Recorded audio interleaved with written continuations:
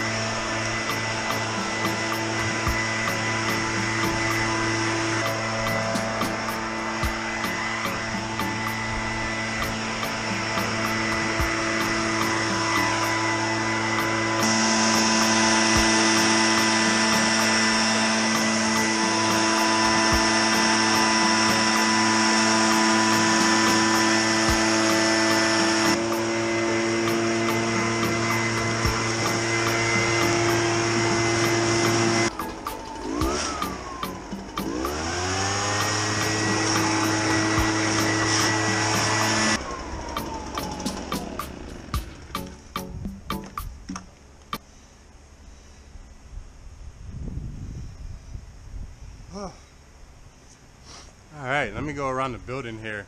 A lot of other people out right now doing yard work and stuff. So it's kind of loud. So that was just a quick look at the new Echo that I bought. Backpack blower. As you can see, it's fall time here in New England. And this is what I was able to do with it over the past, let me check, let me, let me look at the time hour. So it took me an hour to do my whole backyard like this. You can see I got some nice piles going on that I can uh, go ahead and put up on the tarps and bring out to the front yard for the collection. Um, but that's not bad. The other thing I wanted to show you guys is the fuel. So what I like is there's a huge fuel tank on this. Um, it's about, let's say about a quarter gallon and I used one full tank and then I used another half of one. So, you know, rough estimation, but that's about what you could plan to use. Um, now I have about uh, 0.4 of an acre of land. Um, so this is probably about, you know, half, uh, 0.4, probably 0.2 of an acre that I just did. So in about an hour, and of course, you know, how detailed you are and that sort of thing makes all the difference, but you know, it cleans up well and you can see it pushes the acorns. That's the big thing. That's what my wife wanted. Also what I wanted because it definitely helps out when you don't have to rake up all the acorns after. Um, so I will probably do some more follow-up videos with this thing. You know, I showed the little log moving. I showed the bag being pushed. I'll probably try to do some other fun things just to see what it's really capable of. Uh, but if you guys have any questions or comments, of course, leave those down below for SK Lifestyle. And hopefully you guys are managing through your fall cleanup if you have one. Oh, feels good to have a backpack blower. been thankful that we could borrow it from our friends who have really good backpack blowers themselves.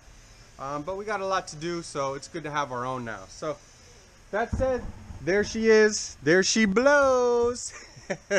SK Lifestyle. See you guys next time.